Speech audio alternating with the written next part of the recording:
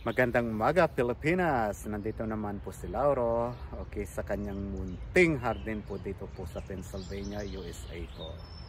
Ngayon, I just uh, actually arrived from work.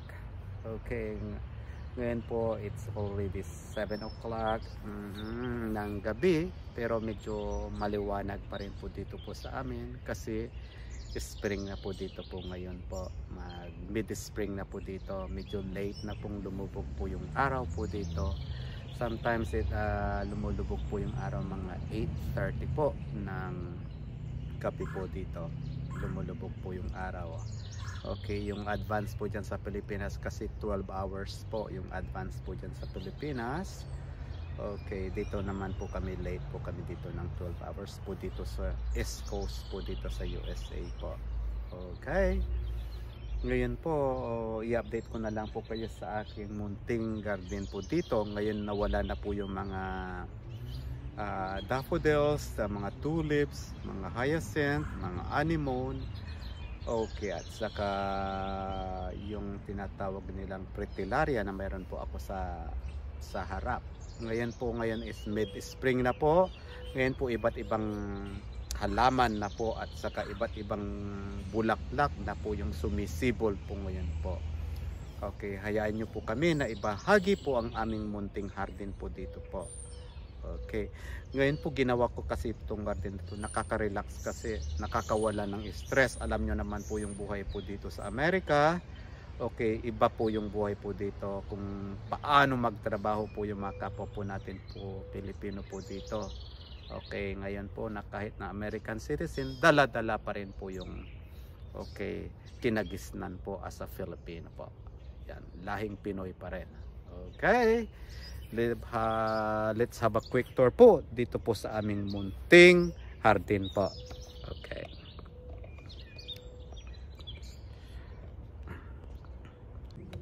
Yan ngayon po yung mga foliates po ng po yan. Yan po yung tinatawag nila po na okay, gold mount espirea. And then the other one is yung regular na espirea ko po. Kung makikita nyo po ito, ka, parang mint green po yung kulay po niyan. Pero ngayon po yung buds po niya, nag-start pa lang po siya na lumalabas po. Ito po yung flower po nito is pink. Yan. So, I'm into organic uh, gardening po dito po. Hindi po ako nag-apply po ng mga synthetic fertilizer. All I actually put is, uh, is like cow manure and then uh, compost coming from the township at saka yung compost na mga uh, ginagawa ko po na coming from uh, dito sa mga dry leaves mga newspaper ganon at saka mga pag nagmumura ako pinagmimix ko na po Yan po ngayon nagtanim na rin po ako ngayon. Ito na lumalabas na po yung kwan ko po dito, yung gabi.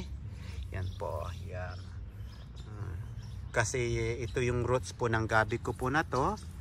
Okay, uh, inilagay ko po sa basement. Okay, para kwan po siya, hindi po siya ma-frost pa kasi pag iwanan po yung roots po niya, pag sa winter po mapupulok po yan.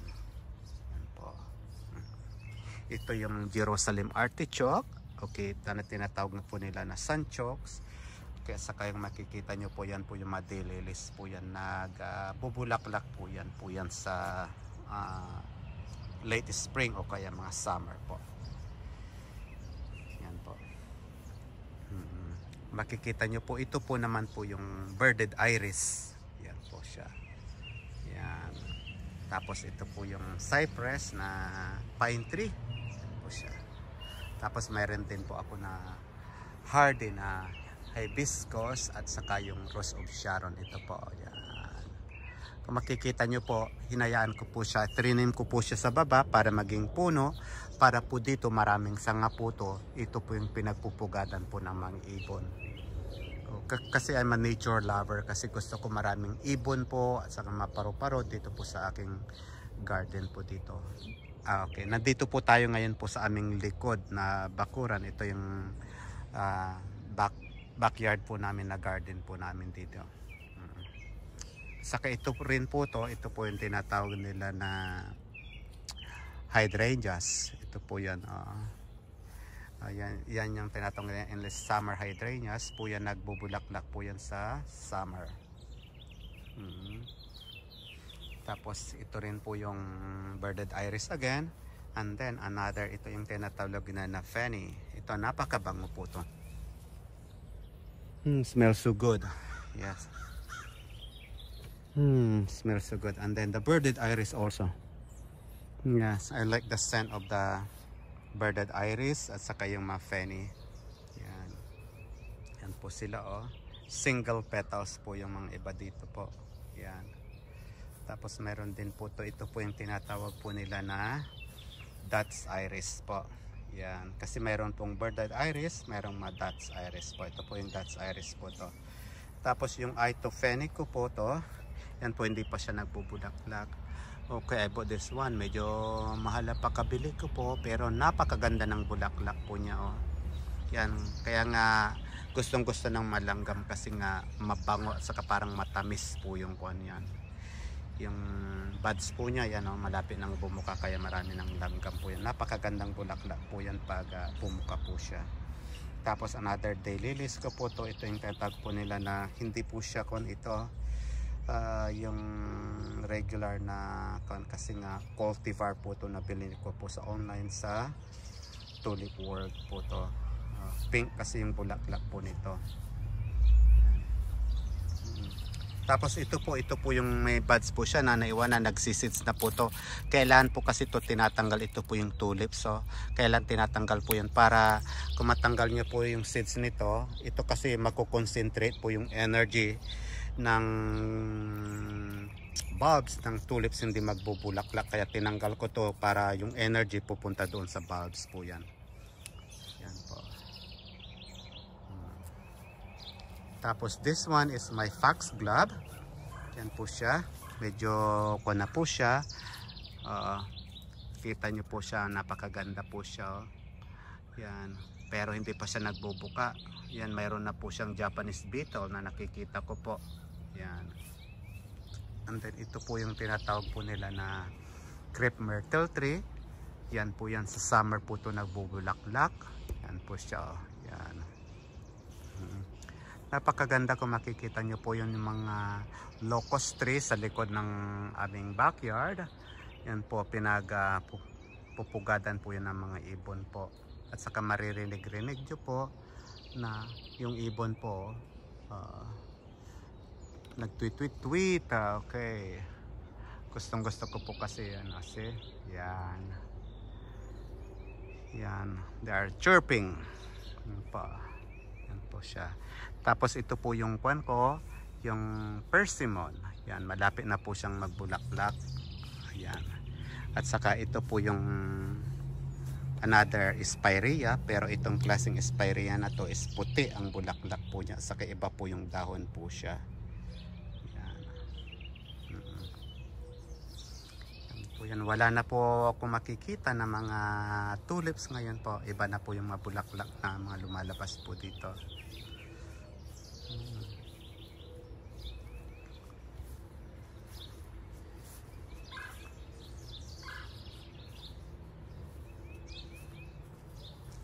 Kita nyo po. Yan po yan. Lumalabas na po yung mga buds po ng mga fox gloves ko po. Yan.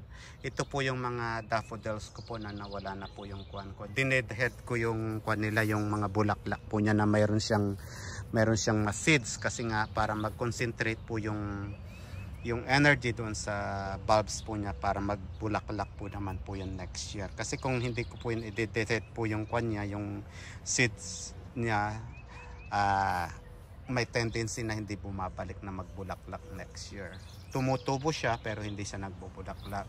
Kaya yan po yung technique ko po. Natutunan po sa mga nag-YouTube din po sa gardening.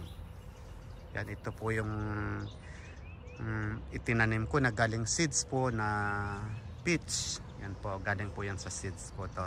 Na ito yung mother plants po niya. Malapit na po tayong pupunta dyan. Yan, ito po yung another grapes. Yan, malapit na po siyang magbulaklak.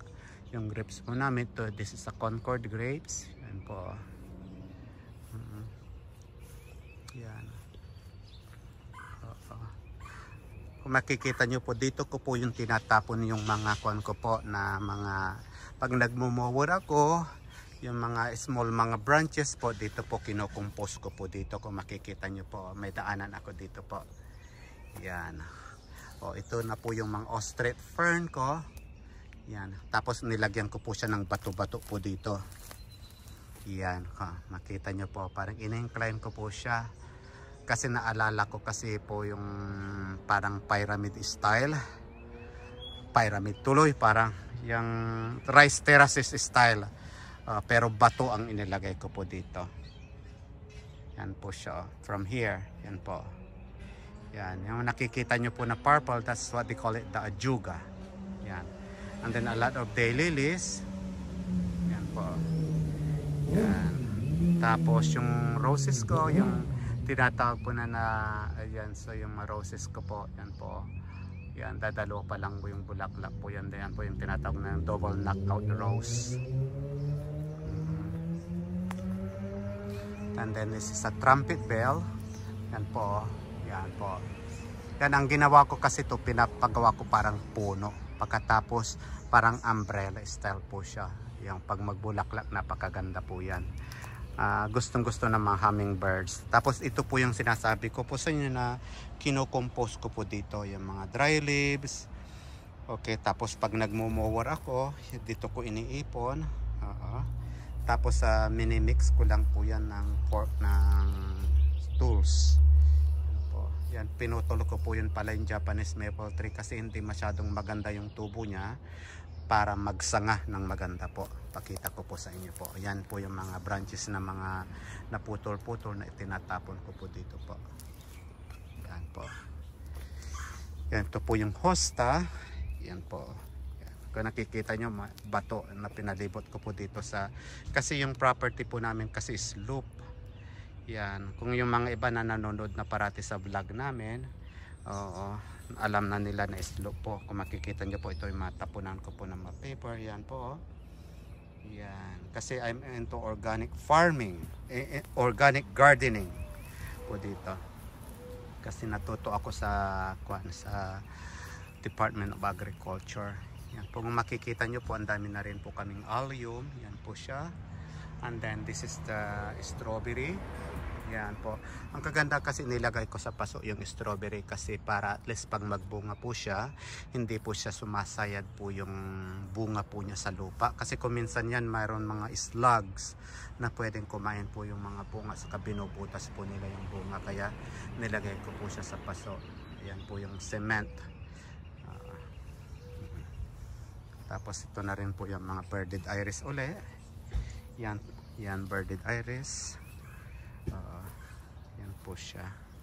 And then this is another varieties of my birded iris. Ito yung napakabango na birded iris. Ito yellow. Yellow white ang kulay po nito. And then another allium po. And kung makikita nyo po yan po marami po pa akong na-compose. Yan po kasi hindi pa akong patapos-tapos kasi yung trabaho ko po yan paputol-putol po yung paglalagay uh, ko po ng compost po dito sa garden kasi sobrang pagod din po yeah, pero naglalaan pa rin po ako ng oras dito sa garden ko. Hmm. tapos yung maprutas. Okay kasi yung asawa ko kasi nung bago namin bili yung bahay na ito nagtanim po ako ng kwan. Ito po yung pears naman po siya. Lahat po ng mga puno po dito itinanim ko yung dito sa bandang pero sa boundary talaga yung mga puno po dyan na hindi namumunga yan po yung nakatanim na talaga po dyan yan po may bunga na po siya yung ma-pairs namin. Yan and then this is another the persimmon. Uh, kung makikita nyo rin po to ito po yung yung inilagay ko siya na stand po ng sweet autumn clematis. Yan po yan ayoko maglagay-lagay ng kung ano-ano. Gusto ko yung mga recycled. Pag natapos na po to yan po yan ay tatapon ko na rin po yan sa compost uli pagkatapos ito yung ginagamit ko po to ito yung recycled din po to na uh, what do you that? Parang burlap na na fabric. Yan. And then this is my Japanese maple tree. Okay. Hmm. yan po yan and then this is the the creeping Jenny. Yan po siya ngayon. Lala hahaba na po yan Then mahilig din ako sa mga pine tree kasi po yan po pag sa December, ito naman po yung foliage po nila, hindi po siya naglalagas po ng dahon. Kaya mahilig din po ako sa mga cypress, mga pine trees, okay, para hindi rin po siya nawawalan po ng view yung garden. Kasi kung minsan sa December kasi dito, naglalagas na lahat po yung mga dahon, nawawala na po yung dahon, parang kalbong-kalbo na po yung garden. Kaya naglagay din po ako ng mga evergreen, mga cypress po. Mm. Tapos dito rin po yung pig. Kasi it's, it's one of my favorite fruits po to yung fig. Yan po, yan po. Meron na po siyang bunga. Yan po siya. Oh. Tapos another bunga na rin po to. Yan po siya. Ito po yung peaches. Yan po siya. oh. Yan po. Yan. May bunga na po siya. Ang dami oh. Yan, kaso nga lang, I don't know kung what happened po do. Nagiging curly yung mga yung mga foliage po niya, yung dahon-dahon po niya. Yan. Ganyan din ang nangyari pero I don't like to spray yung mga chemicals po. Kaya pinapabayaan ko na lang po. Uusukan ko yan sa susunod. And then ito po yung mga mansanas po namin. Yan po, nagbubunga na rin po siya. Yan po siya. Oh. Yan. Yan. And then, ito po yung plums. I think mayroon na rin bunga-bunga. Yan po siya. Oh. Yan siya. Maliliit pa rin siya. Yan. Mga bunga niya. Oh. Yan po siya. Oh. Yan. Mga bunga. Ay, nahulog. Hindi yan ma. Ay, nahuhulog. Diba? Yan po. Meron. Ah, nahulog po yung mga iba po niya. Ewan ko. Yan, pero ang dami pa rin yun. Kahit maghulog-hulog ng mga iba, marami pa rin bunga. Yan. Yan po, nakita nyo po. Another po ng mga bato-bato po yan sa gilid po. Kasi pakyat po to. Slope kasi yung garden po namin. Yan. Mm-mm.